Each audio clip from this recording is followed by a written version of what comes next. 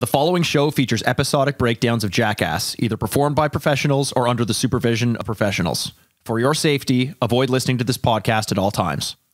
Hi, I'm Mikey Aaronworth. I'm Jason Wellwood. And I'm Chris Aaronworth. Welcome to Jackast.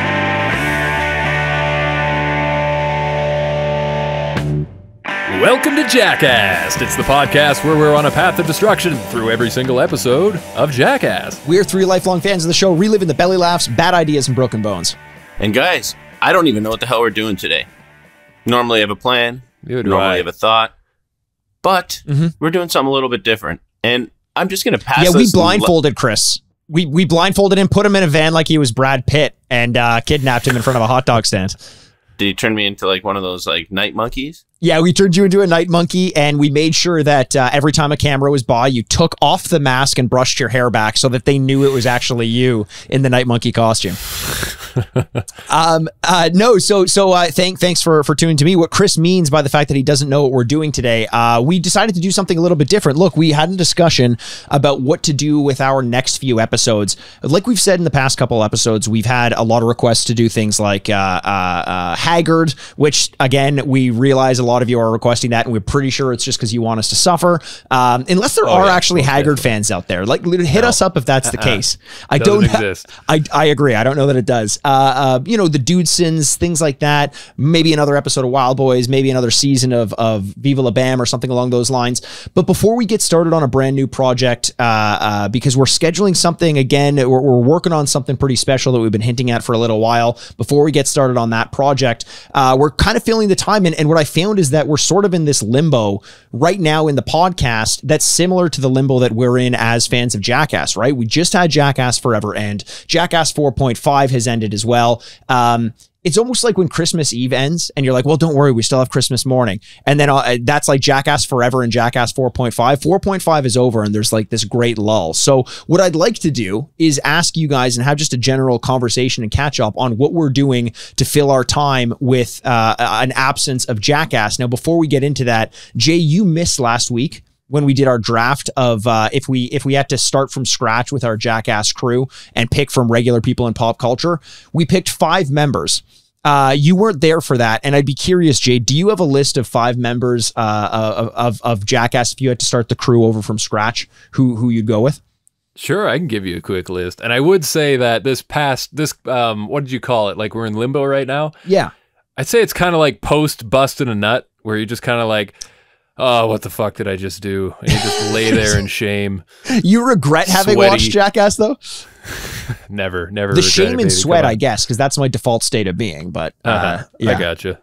But uh, yeah, for last week, you guys give me give the audience just give a quick recap. Who did you pick? Fire it off real quick, Mikey. All right, I'll start off. I had as my Johnny Knoxville, I had Jack Black. As my Danger Ehren, I had uh, McLovin, uh, Christopher Mintz-Plasse, the guy who plays McLovin, because who wouldn't want to bully that guy? As my Bam Margera, I had Super Dave Osborne because Chris decided that we could include dead people in it. As Sure. my uh, Chris Pontius, I had Danny McBride. Because I feel I think he'd be the best hang and he wouldn't have to do any stunts. And as my Steve-O, I had uh, Buster Keaton. I had I had uh, star of the silver screen Buster Keaton, who's known for making his own stunts and doing some pretty wild shit. Uh, uh, my team was one that Chris didn't appreciate, uh, but Chris was a Well, lazy team. He picked from Chris Chris told me he No. dominated you I- off I- mic. He Jay- said that uh, it Jay will wasn't be even the a choice contest. of this.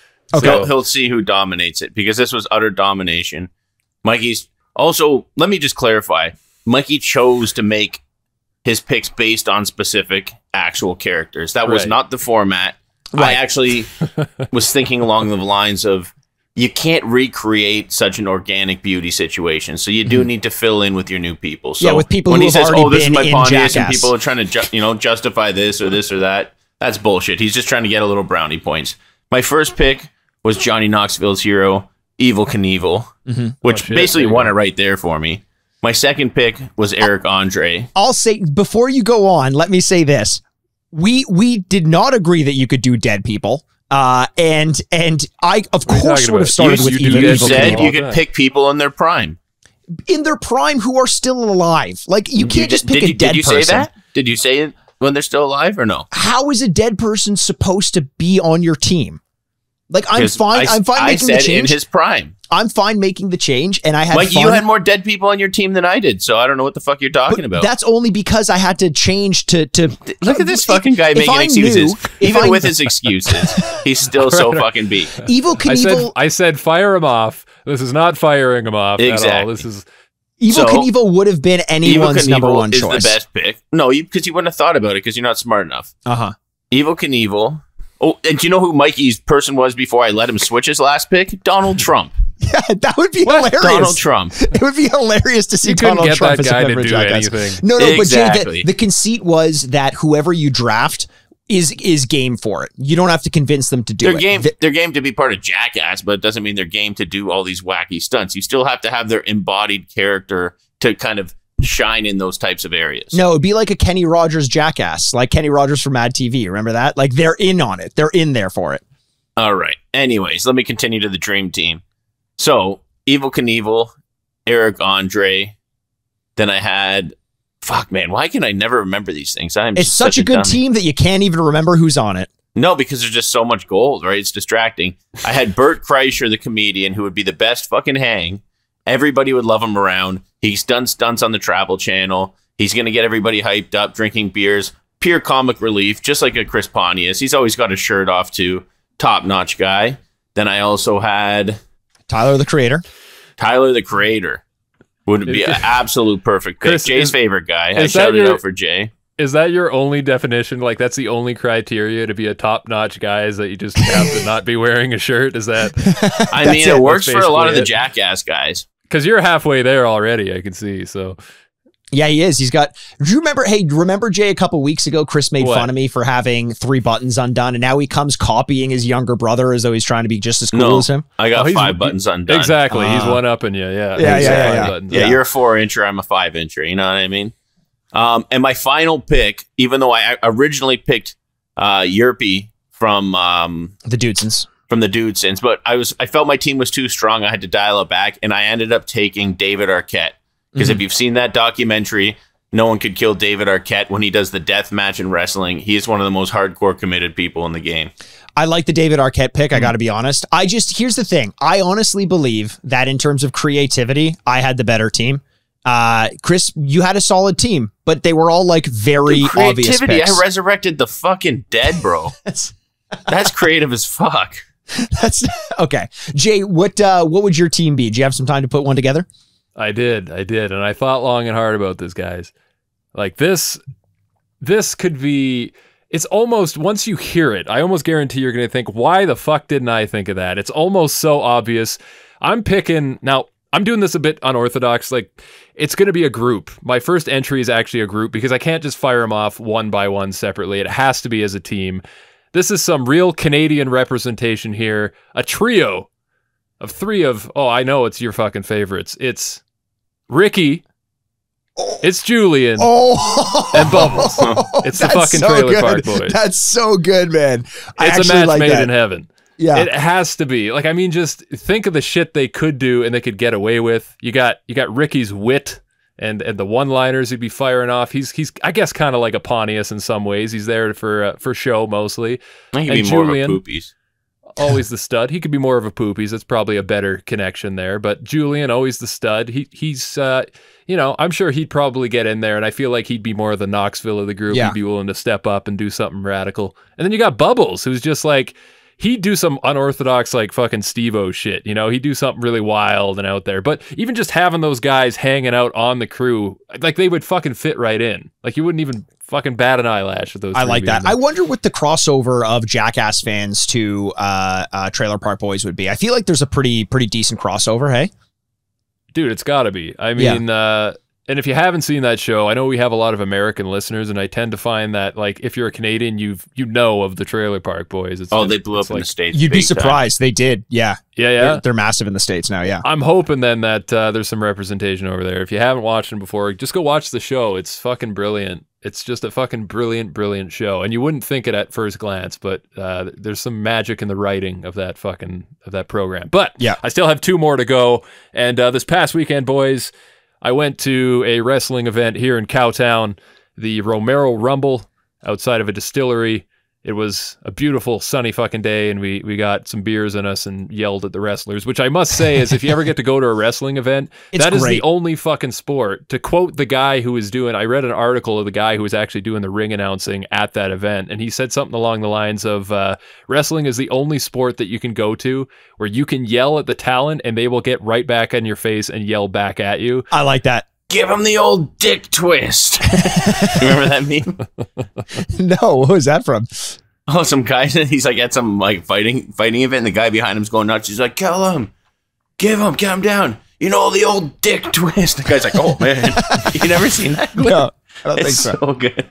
But now I know where you get all your wrestling moves from. Uh, Yeah. Jay, give us your number four But- and five. So the number four and five are tied to wrestling because, as I was saying, you know, th- like wrestlers are fucking open for anything, but you need the right type of wrestler to be a jackass crewman. And I think the legendary, the one and only Mick Foley, He was on my honorable show- mentions. Yeah, that's a great pick. he would show up and he would fucking deliver. No questions asked. Even in his old age, I'm sure he'd still I be agree. down to do something wild. So I'd like to see Mick Foley on the crew. And I felt because I was in a bit of a wrestling mood, we'd throw one more wrestler in there. And this is just a personal pick, a personal favorite of mine. I Chris know if you guys- Benoit. Hey man, as a professional wrestler, much respect to Benoit. He was very talented. a great but e- wrestler. everything else about him is uh, the guy. I'm actually the have a debate opposite, dude. That. I'm the But- opposite. I, I'm not a huge fan of his wrestling. Everything else, top notch. Top notch. All right. Yikes. Uh, but no, it was not Benoit. I think I would have went along the lines of a personal favorite of mine just because I love the guy's energy. I think he'd have a good time after you get a few beers in him. It's Sami Zayn. Does that ring Oh, any yeah. bells? Do you I know him? Sami Zayn. Yep. Yeah, good old Canadian boys. I had a very fucking Canadian lineup on mine. But uh, yeah, that that's my picks. But um, I don't know. What- I don't know, Chris. I would say uh, I didn't pick any dead people, so sorry to dis- disappoint you. But uh, out of the three, we might have to leave that to a vote to the audience to decide who had the best lineup of all time. Yeah, let us uh, let us know. You can find us on Instagram at JackastPod and uh, Twitter at JackastPod as well, or you can send us an email, jackastpod at gmail.com. Uh, but that kind of sums up, puts a little button on our TV draft as though we were to rebuild the Jackass crew from the ground up using uh, some creative members from pop culture and some very obvious ones, uh, both dead and alive. Uh, but we'll we'll move past that. I've got a question for you guys. You know, we're in this lull that we mentioned in between Jackass 4.5 and the promised Paramount TV series. What are you guys doing to get your Jackass fix apart from from recording this podcast? Like, what are the things that you guys are doing to keep yourself going? I'm I'm hitting up the podcasts and YouTube channels. Mm-hmm. That's where I get a lot of my insight. Like everybody that listens to this knows I'm definitely the most knowledgeable Jackass fan out of all the hosts for sure. What I are bring you up all these talking cool about? stories. What do you mean? Who was the first person Oh, to ever shit, bring we're up not getting into poopies? this, are we? I, I think we're getting into this, Jay. Who was the first oh, person that ever brought up poopies? You Me. did, be- yeah, Yeah, because I watched Shark Week. right. Yeah, which, okay. which, by the way, and who I- brings up all these hot facts that you guys are like, wow, I didn't know about that? How me. does What how does that does, have to do with Jackass? yeah, how does Michael facts, like- Schumacher getting yeah. in an accident? Uh, no, no, I'm not talking about the daily facts. I'm talking about the hot facts of, oh my God, did you hear Novak and did this? Did you hear this is how Poopy's got his nickname, etc., cetera, et cetera? Mm-hmm. Because I'm putting in that legwork. And I always am. I'm watching every single Steve O channel video, listen to podcasts, all the poopy stuff. Whoever's putting it out there, hey, question for you. Yeah, What did what did Rachel Wolfson's mum do for a living? uh, she know. was a judge. And who was her famous prosecution? Uh, O.J. Simpson. Okay, I didn't expect you to get that. Well, But yeah, you that's know, true. listen, I just don't need to to flaunt it out there, Chris. That's it. I I'm confident in my jackass knowledge. I don't Um, like to talk about it openly. I just keep it to myself. Yeah, I'm, I'm very people. reserved. Yeah. Chris, what are your favorite YouTube channels? Why don't you uh, listen? Not that we want to send people away from this one, but uh, what do you where do you usually go? What what are the what are the channels and the and the people that you're you're going to support for the most part? Mhm. At Jackast Pod, number one. Number one with a bullet, man. with a bullet point. Um, see, here's the thing: a lot of the jackass guys do not really, until recently, they haven't built up like a following on the internet. They've been kind of coasting along the lines of what they're doing, making the movie money, and then Sure. getting involved in other businesses and maybe to some high side hustles, performances, things like that. It's undoubtedly has to go to Steve-O.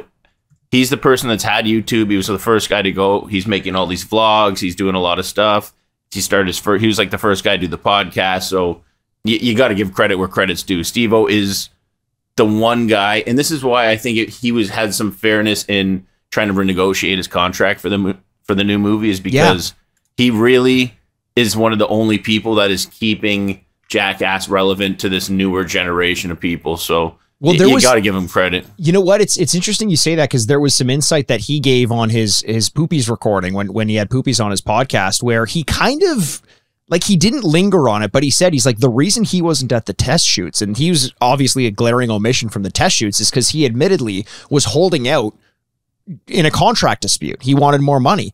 And I think that, you know, this is not to slight anyone who takes part in Jackass or involved in the production team or anything like that, but there is this mentality of we are going to underpay people because it's an honor just to be asked to be a member of Jackass. And I feel and you like could and you could spawn a whole other career off that. Right, exactly. Steve-O is thinking, or you need me. Uh, and you know, great. Thankfully for him, he's got the clout. You know, he's he's one of the the original members of Jackass, and, and he, he's not he's not worried about losing face to the public just by holding out for a contract dispute. He's he he knows his worth. He's smart, and I think it's interesting as some of the newer members of Jackass come on, especially after realizing you know what, what's what's out there right now is that they really didn't get paid that much for the movie. In fact, they got paid relatively little for the movie. Will they then band together now that they've been introduced as newer members and say?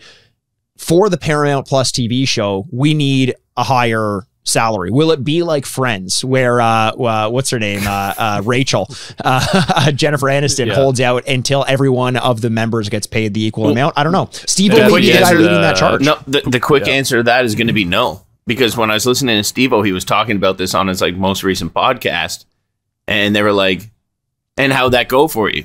And he's like, "I got absolutely nothing." He's like, "It's the first time I finally felt like I had some legs to stand on." Yeah. and I ended up beefing with Johnny Knoxville in the process. And all said and done, I got absolutely nothing what I asked for, and that was that. So they, Oh, he's like, they run a very hard, like they they really run it tight. And it's like, you know what, fuck you, we will get you out of this movie. We will find a replacement. I don't like hearing that from the people at the top, Same, especially with the ground root members.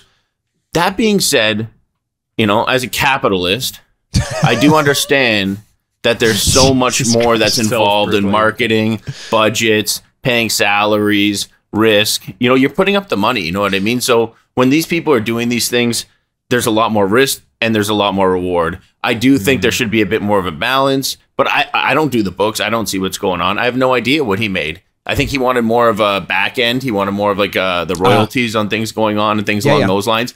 But from what I did hear, Bam came out on a rant post, and I and I don't know what's coming out of Bam's mouth these days. Like, not no knock to him if he's being realistic or if he's just kind of going on rants right now. He seems like he's going through a hard time. The amount of money he said Poopy's made off the film, Yeah. if that's true, like fucking open up the bags a little bit, Knoxville and Tremaine. You guys got to fucking step it up, man. These these guys are, you know, we all love them. We share the wealth just a little bit. Still make your fucking millions, but you got to do a little bit better, That's in the my thing. opinion. I wonder if there were a way. I don't know if this is interesting to the listener, but I'm fascinated by this, like contract talks specifically. You know, sign them to a smaller base amount, pay them per stunt, pay them a a almost like a commission structure based. I mean, you, you know, giving back end points is not something any producer is going to want to write the talent into, but like there should have been a higher upside if the movie did well, and it did. It did really well, and the budget was very low.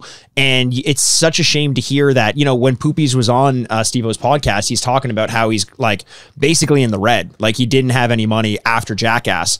And part of that is obviously he did the filming, he made his, he got his, his uh, signing bonus, whatever it was.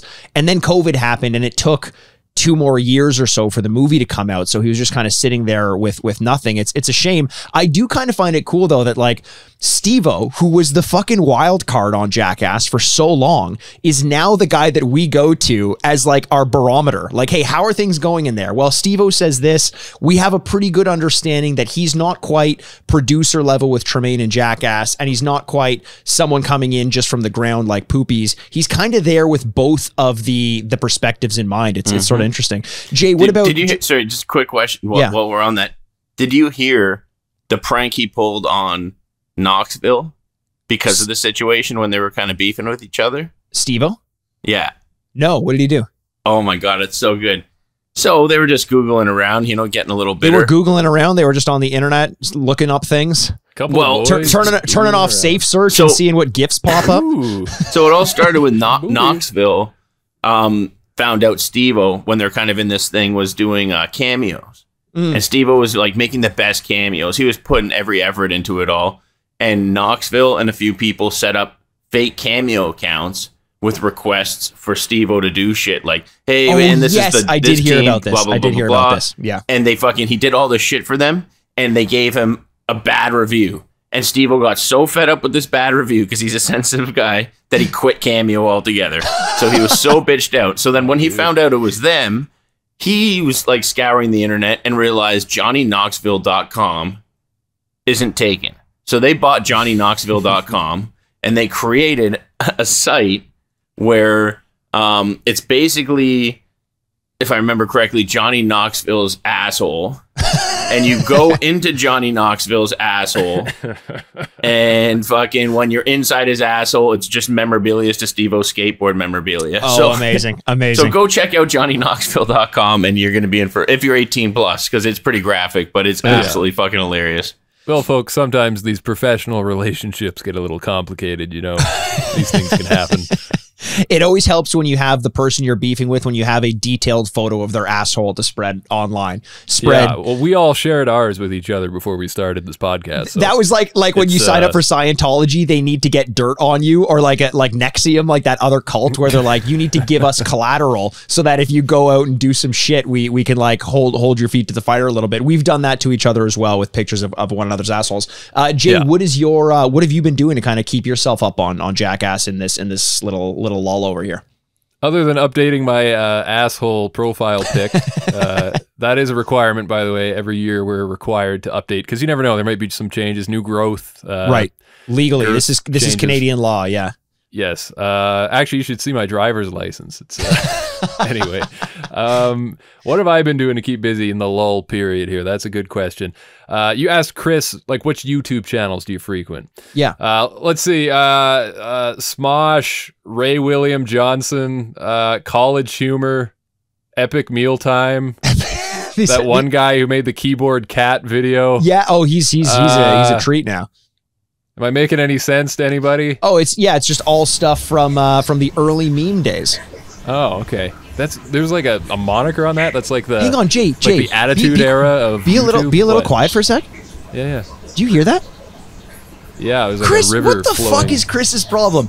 I ask you a question. Jay takes that, or Chris takes that as an excuse to get up from his from his computer, leaves his microphone on, and now we can hear him pissing in the other room. What, like, Well, he's a stand-up guy after all. He's a stand-up guy. Holy shit! So I guess this is what stand-up guys do on the podcast. They Oh, my unbutton their shirt and go take a big, big old piss. Wow. hey, Chris, don't forget to flush, buddy. And and hey, you know you know what we didn't hear there, Jay. The tap turning on, so he didn't wash his hands either. I guess uh, I guess it's his place, his rules. ask, he can do whatever ask him to put his hands in his mouth when he gets back. he probably he'll do it. He's a how he gross. He's a sick fuck like that. Yeah. Um, no, but for real, for real, yeah. your question. You know what the lull is? Um, what I like to do is I like to go back into the nostalgia sometimes, I think. And uh, one thing that's been good is uh, actually the Jackass, uh, the movie. I was actually having a conversation with somebody about whether they thought Jackass 1 or part 2 or number 2, sorry, was a better film. Right. And just being able to talk with people about Jackass, people that were growing up in it, is a delight. Uh, and I know that's not necessarily answering your question, but that's one thing that I've been doing lately is just reminiscing on the old days of like why we liked it and how it's changed.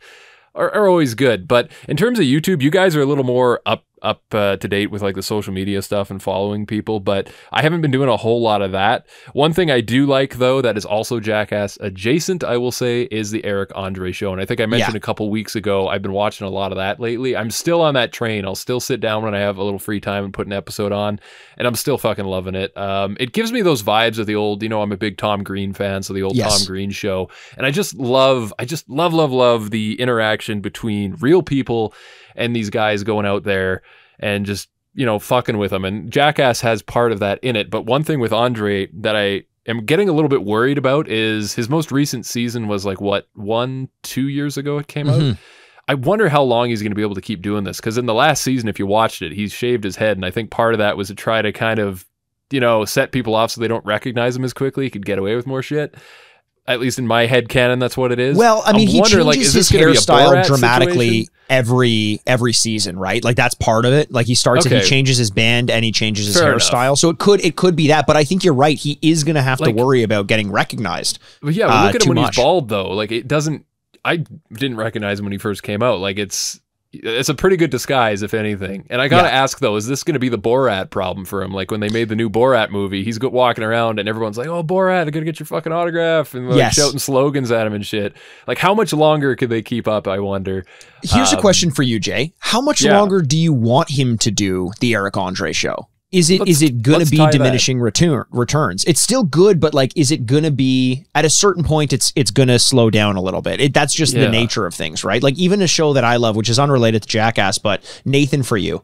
The first season, unbelievable, and then it just kind of gets a little bit played out time and time again as he, as he tries to one up himself. Like, how many more seasons of the Eric Andre show do you need? I don't know how many you can do, but let's tie that together with Jackass as well, because a big staple of it is doing these like you know impromptu in public sketches, and like, Right. can they get away with it there any longer? And like, how much is enough? Is the new Jackass TV show going to just be stunts and dangerous things? Like, that's what Jackass Forever primarily was. Is that going to be the direction they're going? Because I I feel like with the social media age, it is so much harder to get away with those Yeah. impromptu pranks now. Um, but to answer your question before Chris jumps in, how long would I say I want Eric Andre's show to keep going? I think you're onto something. I don't want it to end because I just Mm-hmm. fucking love what he does, but I think it needs to. I think it needs to end soon too because yeah, I, I agree. I want people to look back on something like that for years to come and just be blown away. And who knows, maybe there'll be another Eric Andre grown up right now that's going to come and do something. And There always the is, right? Level. Yeah, Well, like that- I look at him as being the next level of the Tom Green thing. So yeah, I don't know. Yeah, yeah. I don't know. It's a hard question though. That's answer. why when we were doing the draft, I took Eric Andres because he is the creative mind amongst those things. And yes, he was one of the people that were involved in the day to day pranks. Mhm. But Yep. when Good point, you, Chris. Yeah, he was. He was pretty heavily involved. yeah, but my point is he still has that ability to come up with these ideas. So Yeah. if you were to bring him into the new show, maybe not as much of a in front of camera person, but someone to help develop these things. And the beauty Built a new Jackass, think about the original Jackasses. How many people were in that show that weren't really jackass people? You know what I mean? They had friends of friends. Yeah. They were able to get them into the sketches because they knew, yes, this might not work if we're involved with that. So as much as we're going to see this new cast, it's going to be very similar in the sense that they, I'm sure they'll have friends they bring in that people don't recognize that could at least play in on these pranks. And if you get a guy like Eric Andre on board or some of the old people that are thinking these pranks on Jackass, it could go forever, right? You just need to make sure you have some fresh meat constantly coming in, and I think that's the direction of the new show, if you ask me. Well, let's let's use that as a jumping off point to talk about one uh, one of the things that I wanted to bring up, which is you know the the thing that we're all looking forward to is this Paramount Plus TV show. We're hoping we get some of the the the same talent that we had from Jackass Forever and 4.5 in in Rachel Wolfson and Poopies and, and Eric Manaka and and Jasper Dark Shark. These people.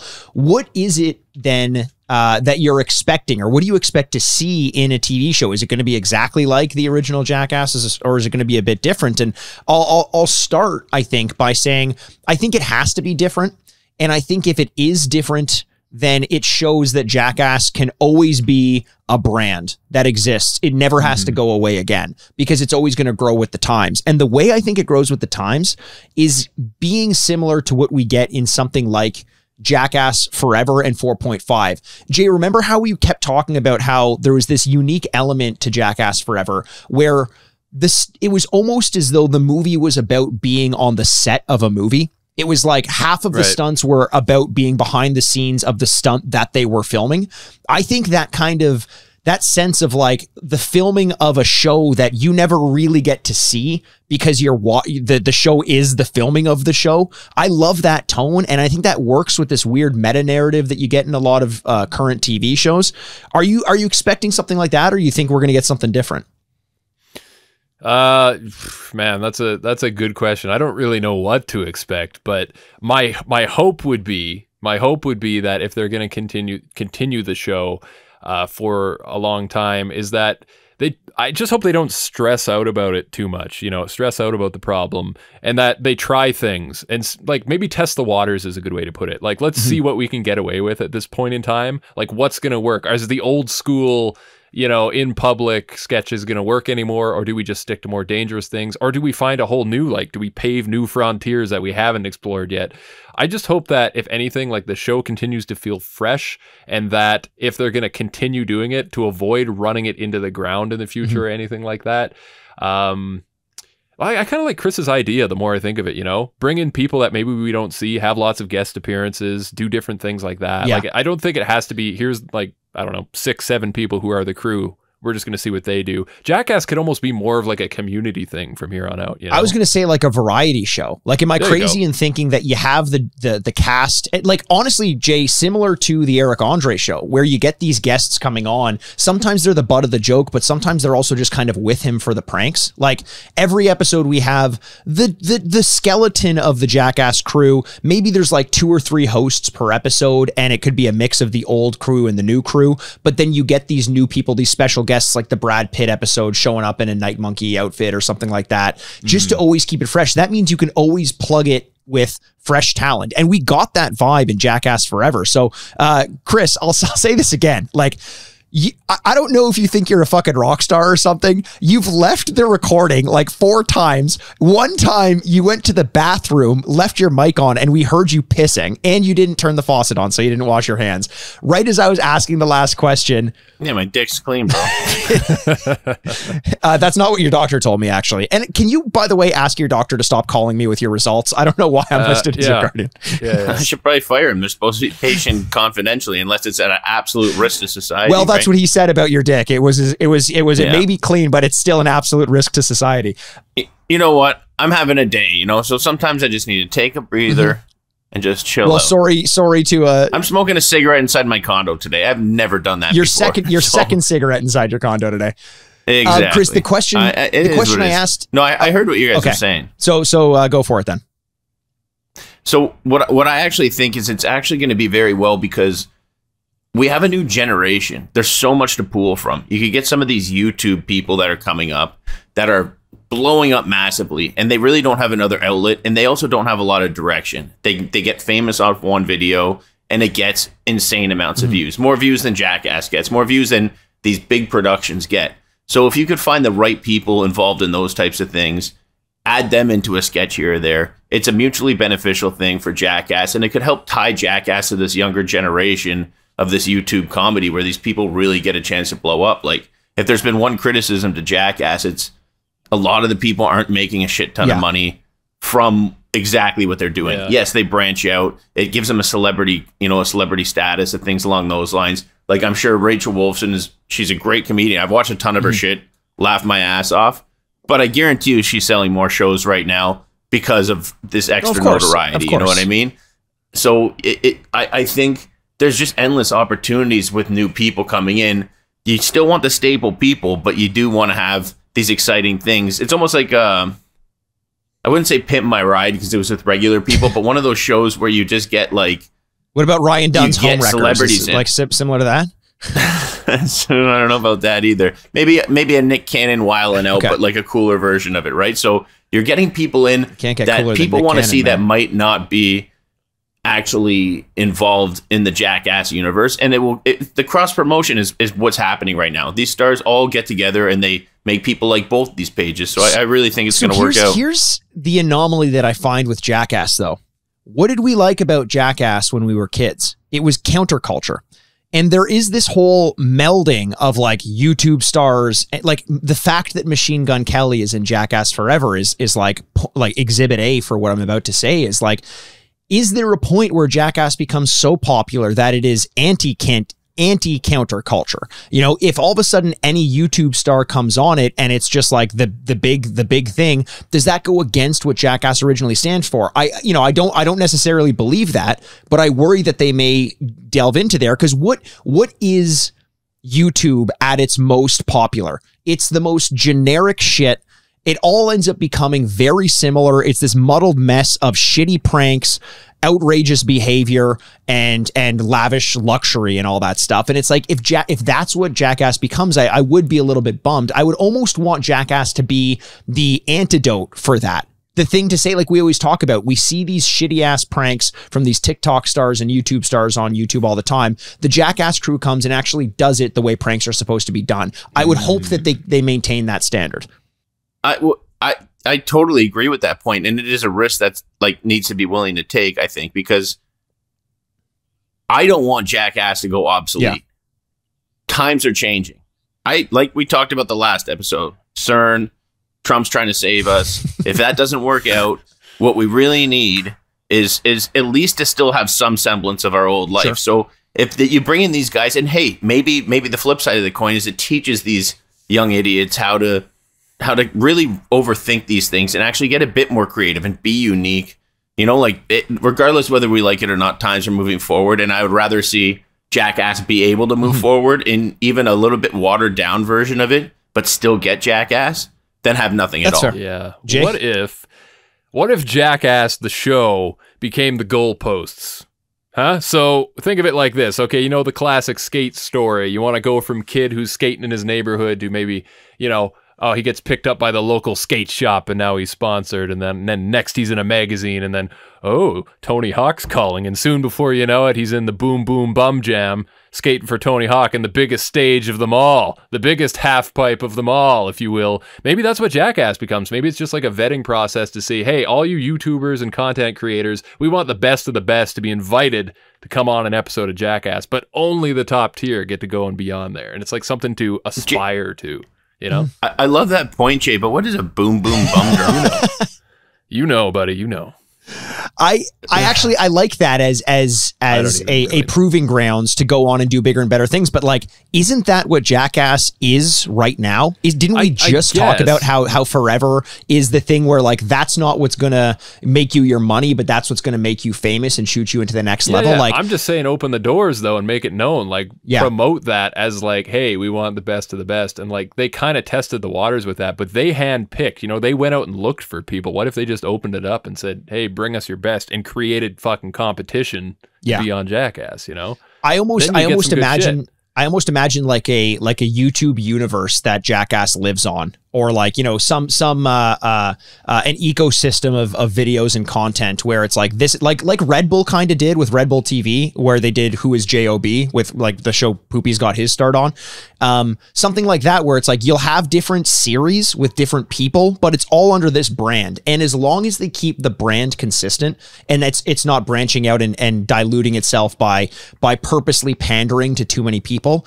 I think you can constantly have that as a bastion. Similar, you know, Jay, you you brought you brought up Funny or Die and College Humor originally, and that was like a like a at that time like a modern version of National Lampoon, like or Saturday Night Live or Mad TV. Like these things are meant to be in contrast to the mainstream, and I think there's room for Jackass to maintain that in in perpetuity because there's always going to be culture, which means there's always going to be counterculture. And I, I think it's just I would worry that they play too close to the line and end up becoming a little bit too big.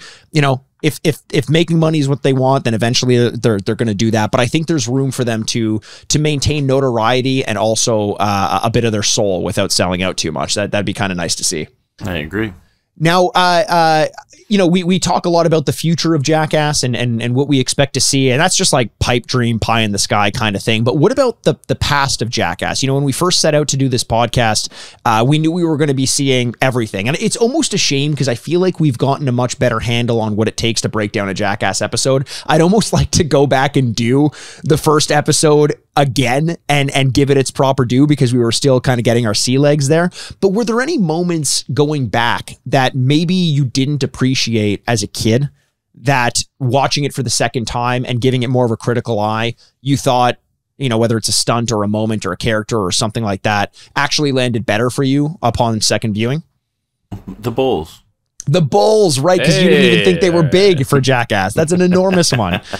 Chris, tell tell the story about how you somehow missed Bulls as a concept in in Jackass.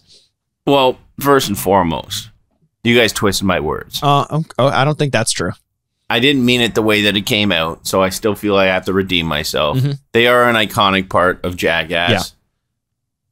Ah, eh, but I just, uh, you know, at the beginning, it wasn't quite what it, you know, cranks out to be later on. And I think I was really invested in rating those episodes and stunts based on the specific one that was happening at that time, Sure. opposed to the the nostalgia and the bigger picture that comes along with it. So yeah, we're talking on podcast, we talk live stream. I make a bunch of random comments. Some I appreciate, you know, some later on I go on to regret. That one was definitely I don't regret it because that's not how I meant it, and you guys want to make me look like an asshole. It's So I'm not taking hard to this do though, right Chris. now. That's not very difficult. We barely have to put in any effort. All the other shit I talk about makes so much sense. Uh-huh. Like you know how Trump's going to save the world, Uh-huh. how By you getting know? shot out of a cannon Shut on. Jackass. well that's Yeah. that might be his time machine where he could go back and stop CERN from ever starting. You know what I mean? Uh-huh. But you know, it's Yeah, you just took that a little little things. far, but yeah. all right. This, uh, Jay, you Oh, you didn't listen to the last episode. you, you missed you missed uh, uh, quite a quite a theory, quite a tale Chris spun. Uh, Sounds uh, wild though. I think yeah, our uh, we actually Maybe had a portion of that on our YouTube channel. We released as the as the promotional clip over at at Jackast Pod on Instagram. Um, Yeah. uh, was was Chris uh, kowtowing to to to Trump uh, as he's been doing a lot lately on this podcast. I don't know if it's like, "Hi, my name's Chris Aaronworth, and I'm about to uh, uh, lose half of our audience," or or I guess gain his half of the audience. I'm not sure. All I know is that we've got an equal balance. And here's a funny thing I'll say just about that post. Like Chris, you and I had kind of a funny back and forth. I'm you know blatantly, I don't need to hide my politics. I I, I hate Donald Trump. Uh, uh, you know that, Chris. I know that you you uh, you don't hate him, but we had like a funny back and forth about about your support of him and my distaste and disdain towards him and people from both sides of the aisle were like this you you shouldn't be talking about that in this video. I'm like, "Hey guys, it's two people who disagree having fun with one another. How is that a bad thing? What like we're both making fun of each other and ourselves. Like, take a step back." That's exactly it. Yeah. I'm I'm things for the fun of it, and you're just being ignorant like everybody on your side is. But my point is is look, we're brothers, we have a good time, and people are allowed to have different opinions. And you know what? Until you actually have a chance to sit down and ask people why they think these things, instead of hating each other, you know what the world needs is more unity and more acceptance of other people. And that's what we're trying to promote over here on this podcast. like acceptance of people on the other side of that border wall or what? Hey Jay, what uh what are you, what uh what about you? What are some of the surprises you found yourself coming across uh uh revisiting some of the earlier episodes of Jackass? Uh, well, the thing about corn sledding, Mikey, is that it's just what. I think never stronger. Uh, Corn sledding, uh, season two, episode three of Jackass. I think one of I the I don't worst actually want to talk about it. I don't. Okay. Let's not go there. I don't actually want to talk about it. I Fair. appreciate. I appreciate that. Look at Mikey, ever so accommodating there, just trying to give me my moment to talk about one of the greatest stunts of all time. But what I did want to say is that one thing I didn't even notice when I was a kid, and it's actually surprising to me that I didn't notice it more. I'm not going to say I didn't notice it at all, but Chris Pontius and his role being Mm. the character in a lot of these sketches where he'll be Bunny the lifeguard on duty, for example. You know, I don't know why, but like that didn't really stand out. And when we got back into this for the podcast, I realized how essential his character is. And Uh-huh. even if he doesn't really do a lot, um, like Of stunts, I guess you like stunt stunts, right? he doesn't really like he's got the party boy thing like i didn't really realize i always just thought he was one of the boys doing stunts just like everyone else but yeah not so much like i think the most extreme thing pontius does in the tv show at least is when he almost gets into that fist fight when he's dressed up as the, as the devil Oh Um, yeah, keep God out of California. I'm not dissing Chris Pontius at all or saying like he he wasn't owning up. I just I think it actually speaks to the strength of his his 100%. characters and his comedy, and that's really an integral part of the show that yeah really stood out on this second rewatching. And uh, one other thing, I think you guys maybe you'll agree, but um, Danger Ehren Ehren Mm. McGhehey for some reason. Again, watching this as a kid, he he. always- I always thought he was one of those like C list characters, and no offense, it's just for some reason like maybe he didn't have a lot of um, pull in the show at the time, but like I didn't remember a lot of his stuff. But going back and watching it, I like a lot of the Ehren McGhehey stuff. Yeah. Um, so it's just yeah, two things that for some reason there was a blank spot. Maybe it's just because as a kid you're more mystified with like the Bam Margeras and the Knoxvilles and the you know the big names that Totally. everybody knows. But you got to give some credit to those supporting roles in the cast because they really do a lot for the show. Yeah, two very good points. I think I think I, I totally agree with with uh, your assessment of Pontius, where it's like I he he's so good at just being around everyone that you forget he really doesn't hurt himself. The one there there was another stunt where he did the tandem bicycling with I think Danger Ehren actually to, to tie those two together.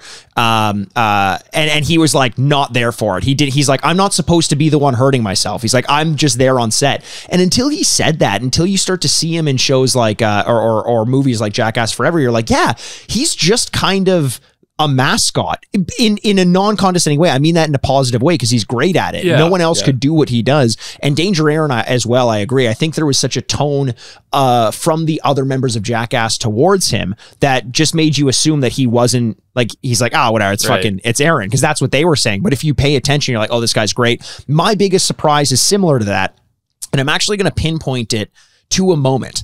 Um, and I'm going to give two examples, both with two different people and for different reasons. I said from the outset that Dave England was always like my most underrated person. I always loved Dave England, but I didn't realize how great and integral and unique uh, urban kayaking was as a stunt. Urban kayaking, I think, is one of the greatest stunts Jackass has done because there are very few like it that combine something a little bit gnarly, something cool to watch, something dangerous with this character that da- that that uh, Dave England used to play, where he was kind of this like new age extreme sport guy who was super excited about a sport that you knew would never take off and was really silly.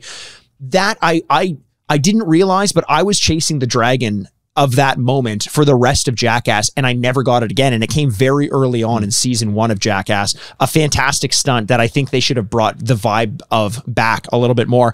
And the other big surprise was uh, the the history of Plugs, aka uh, Ryan Dunn, figuring out his character. You know, I totally forgot Yeah. how different he was in seasons Yeah, yeah. one and two, uh, and even some of of Jackass season three. He really doesn't come into his own until volume three, kind of, and the movies.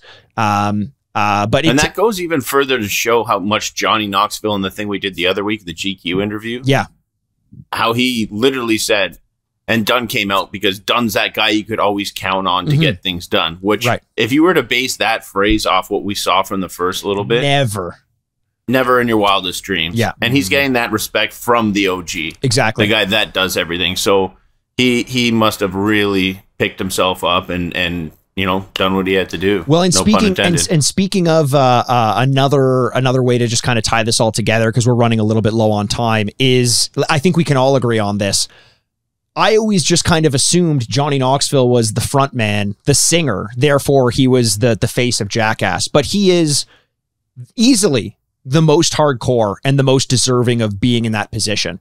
I, I thought it was like the pretty face, a little charisma, this and that. Going back and seeing what exactly he does and how gnarly he actually is, holy shit, that guy is a badass. Like, well deserved to be in the position that he's in. Mm, I'm gonna throw out a random question here, Yeah. just out of the blue, what's up?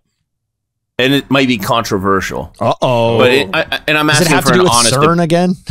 no, Okay. no, that's not controversial. That's just fact. okay, okay. Um, Steve-O. Yeah. We've seen a good chunk of sober Steve-O, Mhm. and we've seen a good chunk of fucked up Steve-O. Uh-huh. Not necessarily talking about what was happening behind the scenes and how it might have been affecting things that we don't really understand about. Which Steve-O do you think has brought the better stunts? Has brought the better stunts. That's so Like, hard if you to say. If you look back and you see like Steve-O's catalog of what he's done, It's Which uh, one do you think's better? I know, I know personality Steve-O right now is a, bil- a million times Yeah. better, but I'm talking Yes. pure gnarliness and those impactful stunts that we talk about yeah, forever. Like a, a real working man's perspective here. We're not thinking Mhm. about the personal life. Okay.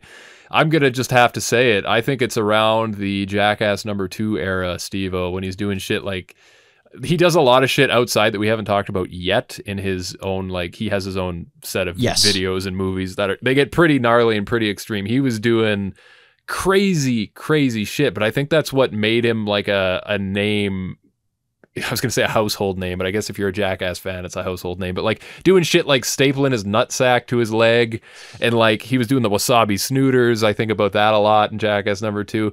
He had that whole he. If you remember, like Steve would just go on tour and book out stadiums and shit, and just I do was at one shit before. on stage. Yeah, just do stunts and pranks and be super fucked up. And like you don't want to see a guy that low and that fucked up, but at the same time he had a lot of brilliance come from that period in his life and I don't think you can deny that if you can call stapling your balls to your leg of brilliance, but but you know what I mean? Like he was willing Uh-huh. to do anything because of the state he was in. And in a way, if you're looking at it purely from, you know, I'm coming into Jackass because I want to see something ridiculous, I think that's probably the peak Stevo. That being said, I would never want to see him go back to that ever again. Leave it in the past. It's done. And uh, I think it's a good thing that it's over. But if you were there to experience it, like, it was just wild. Just a sign of the times of like the way that the world was and what so many people were feeling, and that you could book a show like that and sell it out is just wild to me, you know? I, I Um, I Yeah. agree. I, I think though that one thing you have to keep in mind, and this is something you can't separate from from Stevo post soap sobriety, is that he also had gotten older. And that's one of the reasons why he got sober. So I think there's an element of like that's why some of his stunts have have gone down a little bit, maybe in terms of intensity. And there's also just less content to look at. You, you know, you got all of Wildboyz, all of the original Jackass TV series, all of Jackass 1 and all of Jackass 2 for Steve-O while he was high. You got Jackass 3, 3.5, and Forever, his current tour, and then like Wild Ride and stuff for sober And Steve-O. And his and his YouTube channel. I Yeah. honestly though think like like I just pulled up on Reddit the top uh uh the top uh Steve-O stunts. And here's like a, a weird consensus. There's a or, or a bunch that show up on the list. The fish hook which is great. The new bikini I think that's a little bit overrated. Uh alligator snapping turtle the flaming gauntlet and poo cocktail supreme. Flaming gauntlet Yeah, I think is his most gnarly stunt. And he did that with no substance. In fact, he got so injured and he couldn't even take painkillers on it. Poo Yeah. Cocktail Supreme, also one of his most iconic stunts, also when he was sober.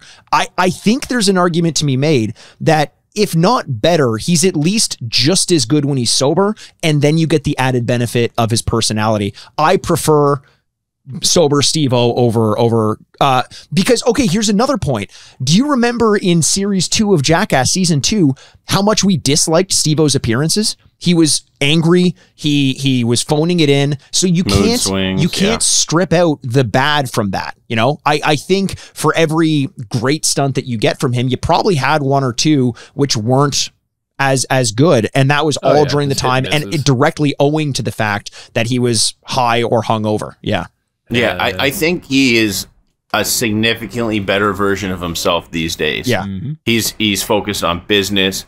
He's got every different type of business plan. And and I was talking about in the draft about how Bert Kreischer is one of the best marketers and promoters. I said the, he might be able to do the only thing to market Jackass further, other than maybe Steve-O, because Steve-O is on his grind. He's focused. He's dedicated. And I love to see all that new stuff. And he's it's not like he's toned down his shit. He still does some really gnarly shit. Right. It just he has a better thought process behind all these things.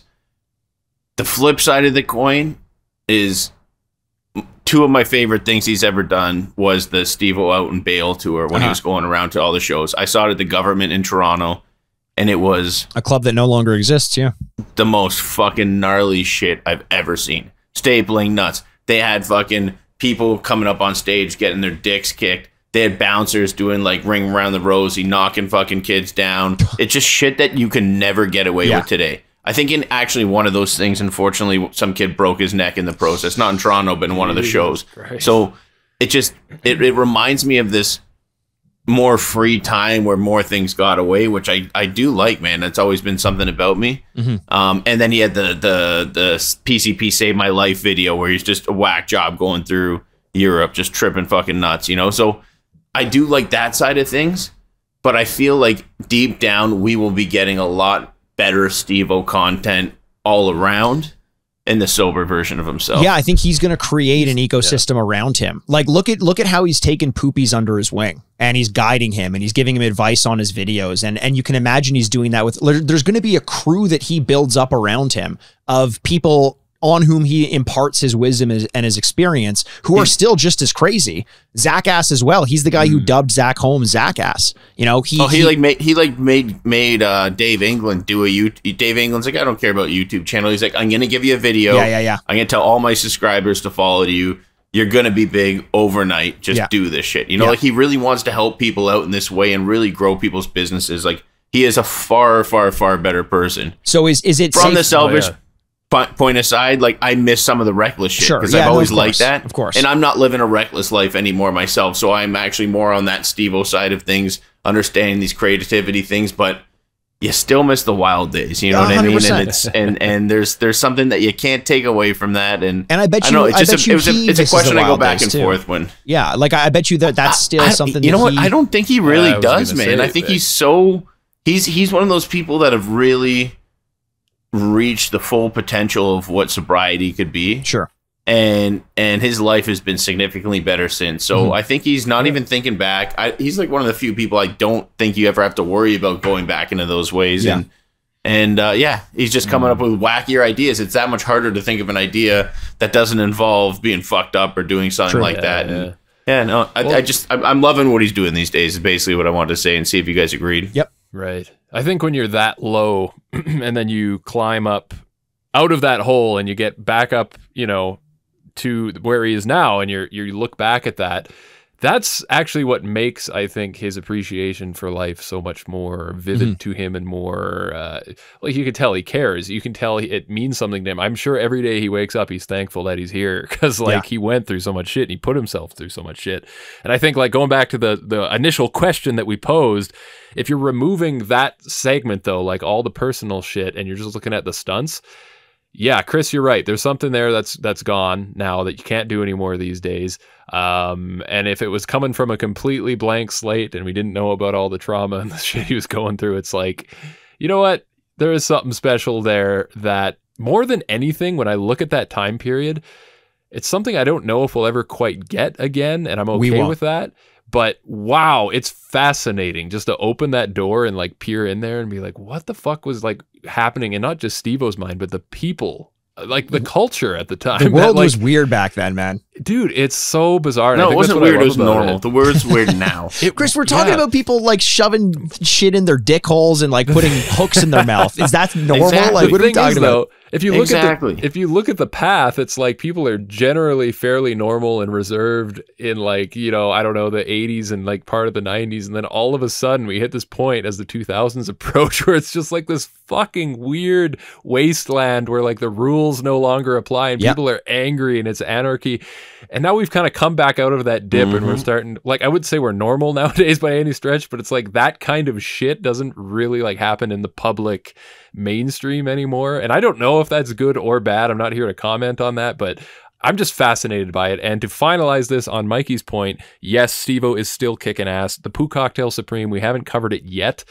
And I'll have to save my rating until I actually watch it one more time. Yeah. But that's probably going to be one of my favorite stunts. So Yeah. Yes, I know that. I know that about you, Jay. I figured. any kind of Stevo is good Stevo. I, I don't think Stevo's ever done, he hasn't done much that hasn't been either just totally like memorable or or fascinating in some way. So I, you know, I'm I'm excited to see like you guys are where he's going to take things moving forward. For sure. And yeah, that's our Stevo rant. That was pretty good. That's good. our boys. Steve I O like rant. that. You know, uh, uh, whatever we get from Steve O is is good Steve O, as you said, and as we've proven on uh, this episode. Whatever we get on the Jackass podcast is good Jackass content. Uh, just a little bit of riffing, a little bit of uh, our thoughts on the future, past and present of Jackass. Uh, look, I love having these sorts of conversations, and we will pepper these in in and among some of our our longer stretches of projects. If you have any questions or comments that you want to add to it that we can discuss on the show, hit us up at JackastPod on Twitter or Instagram, or uh, send us an email, jackastpod at gmail.com. Uh, boys, anything to say before we take off? Uh, I would say that on that last point we made too about the chaos and the anarchy of the mid 2000s there, we might have said this before, but Jackass couldn't have existed at any other time. So if you think about this, the fact that we're here doing this podcast right now is a fucking miracle because Jackass itself is like a once in a lifetime shot. It's like True. you know, True. the fucking meteorite struck the earth and uh, fucking created new life at just the right time. And uh, and we came up and it birthed us somehow. it birthed yeah. us somehow and uh yeah i just yeah I, again the fact that we're even sitting here talking about dudes who like made a fucking living and a life out of just hurting themselves and making people laugh is it's pretty crazy but um hey if anybody ever tells you you can't live your dream or you can't achieve something just look at these guys and there's all the inspiration you need i think That's what we're doing. We're living our dream. We're living just our trying to do a dream, the best podcast on here. Uh, Jay, you want to uh, you want to lead us off here? yeah uh until next week bye i'm jason wellwood Bye. I'm Chris Aaronworth. Bye. I'm Mikey Aaronworth, and this has been Jackast. Jay, your voice sounded different than last week when you were signing out.